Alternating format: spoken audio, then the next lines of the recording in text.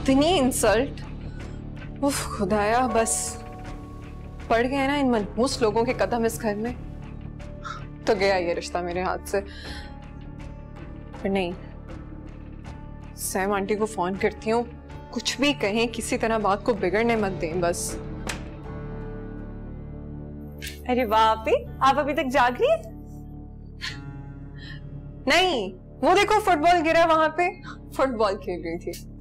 मेरा मतलब है, अगर आप अभी तक जाग ही रही थी तो नीचे आ जाती, हमारे साथ बैठ जाती, बड़ी अम्मी से दो बातें भी कर लेती।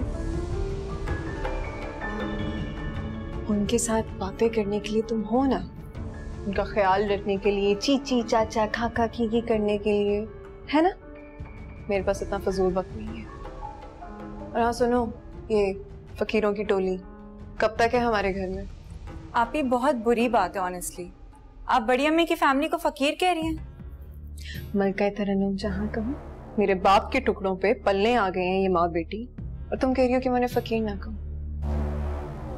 सगी बनती रहती है तुम उनकी जाओ ना जाके बातें करो उनसे। दिमाग खराब।